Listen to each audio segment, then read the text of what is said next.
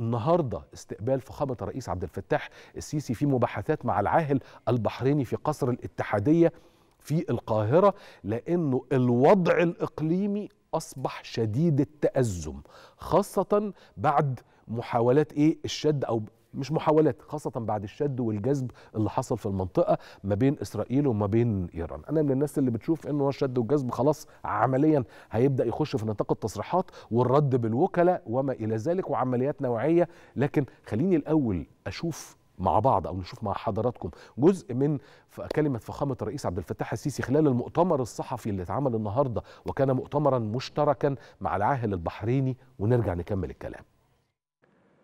لقد ناقشت مع شقيقي جلالة الملك جهودنا جهود بلدينا والجهد العربي المشترك للتعامل مع هذا الوضع غير قابل للاستمرار ووضع حد له والأهم ضمان عدم تكراره.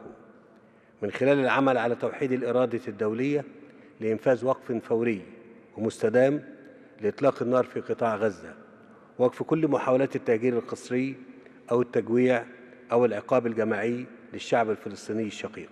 والنفاذ الكامل والمستدام والكافي للمساعدات الإنسانية للقطاع مع الانخراط الجاد والفوري في مسارات التوصل لحل سياسي عادل ومستدام للقضية الفلسطينية على أساس حل الدولتين وإنفاذ دولة, دولة فلسطينية على حدود الرابع من يونيو 67 وعاصمتها القدس الشرقية.